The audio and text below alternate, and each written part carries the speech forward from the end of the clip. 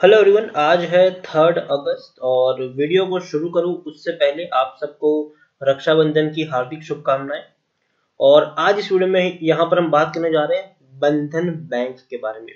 देखिए banking sector पिछले काफ़ी दिनों से काफ़ी स्ट्रेस से गुजर रहा है। बड़ी बड़ी गिरावट हमें हर बैंकिंग शहर में देखने को मिल रही है। बड़े से बड़े बैंक भी टूट के बिखर रहे हैं। और उसका रीजन क्या है? और बंधन बैंक में आज दस परसेंट जितनी गिरावट क्यों है, उसके बारे में भी आज हम इस वीडियो में बात करेंगे। लेकिन उससे पहले अगर आपने अभी तक चैनल को सब्सक्राइब नहीं किया तो प्लीज़ अभी इसे सब्सक्राइब कर लीजिए, क्योंकि आगे भी बहुत सारे वीडियोस हैं जो आपको काफ़ी ज़्यादा हेल्प करेंगे। तो चलिए शुरू करते हैं। तो जैसे कि आप देख कि बंधन बैंक तीन सौ तेरह रुपए के आसपास ये शेयर अभी ट्रेड कर रहा है। पिछले एक महीने की हम बात करें तो एक महीने में साढ़े नौ परसेंट से दस परसेंट की भयंकर गिरावट है। तकरीबन चार सौ रुपए तक ये शेयर पहुँच गया था, लेकिन उसके बाद अगर हम देखें तो शेयर में सिर्फ़ और सिर्फ़ गिरावट है और चार सौ रुपए का शेयर एक महीने से भी कम वक्त में आपको तीन सौ बारह रुपए तक ट्रेड करता हुआ देखने को मिल रहा है। तो काफ़ी बड़ा नुकसान हुआ है लोगों का। पिछले एक साल की बात करें तो बत्तीस परसेंट की यहाँ पर गिरावट है। छह सौ पच्चीस रुपए के लेवल से टूटकर शेयर नीचे आता एक सौ पचपन रुपए तक पहुँच गया था कोविड पेंडेमिक की सिचुएशन में। लेकिन बाद में बढ़िया यहाँ पर रैली आई, चार सौ रुपए तक भी शेयर पहुँचा। लेकिन अब पिछले कुछ दिनों से गिरावट है। शुरुआत में मुनाफा वसूली यहाँ पर हावी हुई, लेकिन आज के दौर में वक्त मुनाफा वसूली का नहीं। लेकिन जो आरबीआई की तरफ़ से जो कुछ संकेत दिए जा रहे हैं, हालाँकि कोई ठोस अपडेट नहीं, लेकिन जो संकेत मिल रहे हैं उसके चलते थोड़ी सी यहाँ पर हमें गिरावट देखने को मिल रही है। रीजन ये है कि अभी बैंकिंग शेयर में गिरावट पहले आई थी। उसका भी रीजन था कि जो मोरिटोरियम था, पहले तीन महीने का मोरिटोरियम लगा था। बाद में अगेन उसको तीन महीना और एक्सटेंड कर दिया था। मोरिटोरियम का मतलब सीधा है कि भैया आपको बैंक अगर आपने बैंक से पैसा लिया है आप उसकी किस्तें चुका रहे हो, लेकिन ऐसे पेंडेमिक की सिचुएशन में आपको किस्त चुकाने की ज़रूरत नहीं है, वो आप तीन महीने बाद चुका सकते हो। मतलब यहाँ पर सीधा मतलब ये नहीं है कि आपको माफ़ी मिल रही है, आपको बाद में पैसा चुकाना तो है ही है, लेकिन इस तीन महीने के दौरान आप नहीं चुकाएँगे तो कोई दिक्कत नहीं है। तो पहले तीन महीने का मोरिटोरियम लगा फिर बाद में तीन महीना और मोरिटोरियम लगाया। अब बातचीत ये चल रही है कि आरबीआई से बातचीत हो रही है फाइनेंस मिनिस्टर्स की फाइनेंस मिनिस्ट्री की। कि आप ये जो मोरिटोरियम है, उसको आगे और एक्सटेंड करें। और एक्सटेंड करें। देखिए ऑलरेडी छह महीने का मोरिटोरियम से बैंक की हालत थोड़ी सी खराब तो हो ही चुकी थी। अब इसको और अगर आगे एक्सटेंड किया जाएगा तो याद रखिए, जो छोटे बैंक है, वो बर्बाद होने के कगार पर पहुँच सकते हैं। बड़े बैंक तो सरवाइव कर जाएँगे और जो सरकारी बैंक है, उसमें तो भैया सरकार बाद में पैसा डाल ही देगी। तो पीएसयू बैंक यहाँ पर सेफ़ है। अगर मैं कह दू पीएसयू बैंक यहाँ पर से, जो यहाँ पर सेफ़ है जो भी सरकारी बैंक है वो सेफ़ है क्योंकि बाद में सरकार पैसा डाल देगी ये बात श्योर है किसी का पैसा डूबने वाला नहीं है। लेकिन जो प्राइवेट बैंक है प्राइवेट बैंक में भी जो छोटे बैंक है उनको यहाँ पर दिक्कत हो सकती है ये पहली चीज़। दूसरी चीज़ आज इतनी बड़ी गिरावट की वजह भी यह है कि प्रमोटर ने 20 परसेंट तक का हिस्सा बेचा है। बंधन बैंक शेयर टर्मर eight percent Burj of promoter selling twenty percent stake तो देखिए चर्चा है कि प्रमोटर जो है वो अपने 20 परसेंट का हिस्सा बेच सकती है और ये ब्लॉक डील के द्वारा ये चीज़ें हैं।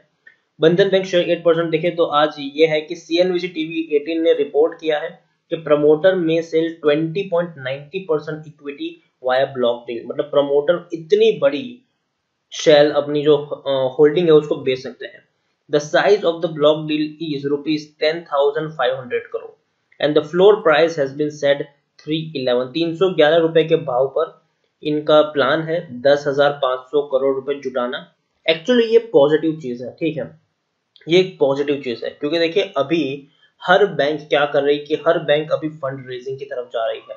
हर छोटी बड़ी बैंक फंड रेजिंग कर रही है क्योंकि अगर मोरिटोरियम लगता है तो भैया उनको पैसा तो चाहिए कहीं ना कहीं से आने वाले दिनों में बैंक को चलाने के लिए। तो पैसा चाहिए उनको और इसीलिए फंड रेज कर रहे हैं। बहुत सारी बैंकों ने फंड रेज किया इंडोशन बैंक ने भी फंड रेज कर लिया था अब बंधन बैंक ने भी, भी फंड रेज किया है। आरबीएल बैंक ने अभी तक कोई फंड रेज की अनाउंसमेंट नहीं की है। और आईसीआईसीआई और एचडीएफसी तो भैया जब चाहे तो फंड रेज कर सकते हो, काफ़ी बड़े बैंक है ये। तो जो छोटे बैंक है, उनके लिए काफ़ी बड़ी दिक्कत यहाँ पर हो सकती है अगर वो लोग जल्दी से जल्दी फंड रेज नहीं करेंगे, क्योंकि वहाँ पर आपको डीप करेक्शन भी देखने को मिल सकते हैं। तो आप देखिए शेयर की अगर हम प्राइस की बात करें तो तीन सौ ग्यारह रुपए के भाव है और दस हज़ार पाँच सौ करोड़ रुपए तक का पैसा इनको मिल सकता है। इक्विटी की अगर हम बात करें तो तैंतीस करोड़ शेयर है ये। तैंतीस करोड़ शेयर की ब्लॉक डील की यहाँ पर बातचीत हो रही है। तो इसी के चलते आज शेयर में बहुत बड़ी हमें गिरावट देखने को मिली है। यहाँ पर आप देखेंगे तो लार्ज कैप स्टॉक है, ये पचास हज़ार नौ सौ करोड़ के आसपास का इसका मार्केट कैप है। एनएससी में देखें तो 11 करोड़ से भी ज़्यादा का वॉल्यूम ट्रेड है और बीएससी में देखेंगे तो भैया बीएससी में वाकई में बहुत ज़्यादा volume trade thirty seven crore तक का वॉल्यूम ट्रेड है। तो एनएससी और बीएससी यहाँ पर पहली बार ऐसा होगा कि बीएससी में सबसे ज़्यादा वॉल्यूम ट्रेड हो रहे हैं एनएससी में कम हुए हैं। तो काफ़ी ज़्यादा वॉल्यूम ट्रेड हमें यहाँ पर देखने को मिल रहा है। लोग खरीदारी, बिकवाली यहाँ पर कर रहे हैं। अभी वक्त हुआ है, दोपहर के दो बजकर बाईस मिनट हुए हैं और इतना बड़ा वॉल्यूम ट्रेड ऑलरेडी हमें देखने को मिल रहा है।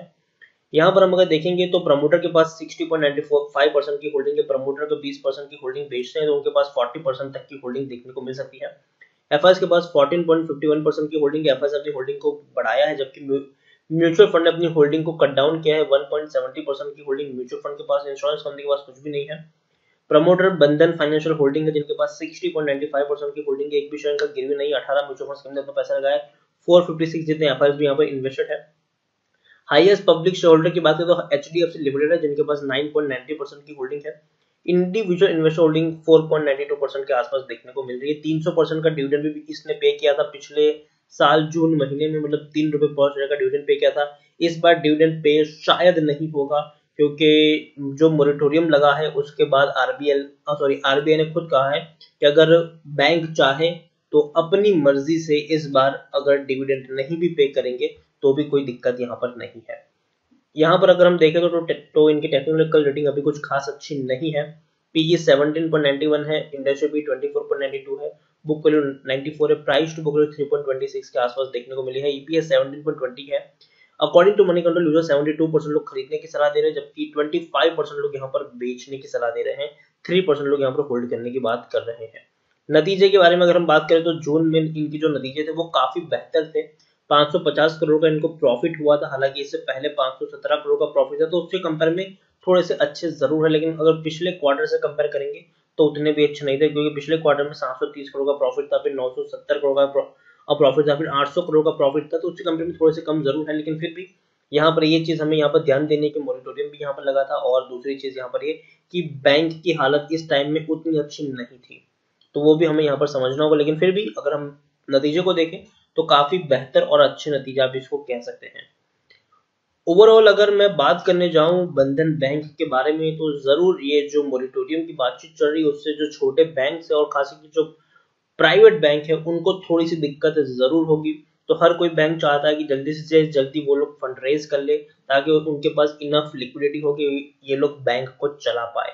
और ये इसी का पूरा खेल है अभी के दौर में। तो बंधन बैंक में अभी और गिरावट आ सकती है, हो सकता है कि शायद तीन सौ रुपए से भी नीचे चला जाए। लेकिन खरीदारी करने की इसलिए मेरी यहाँ पर सलाह नहीं होगी। लेकिन हाँ अगर शेयर आपको ढाई सौ रुपए के आसपास मिलता है तो ज़रूर एक बार आप रिस्क लेने का यहाँ पर सोच सकते हैं। लेकिन अभी के इस प्राइस पर तो मैं खरीदारी करने की सलाह नहीं दूँगा। मुझे लगता है कि शेयर अभी काफ़ी महँगा है, शायद थोड़ा और सस्ता हो सकता है। और आने वाले वाले दिनों में बैंकिंग शेयर के ऊपर और ज़्यादा प्रेशर आपको पड़ता हुआ देखने को मिल जाएगा।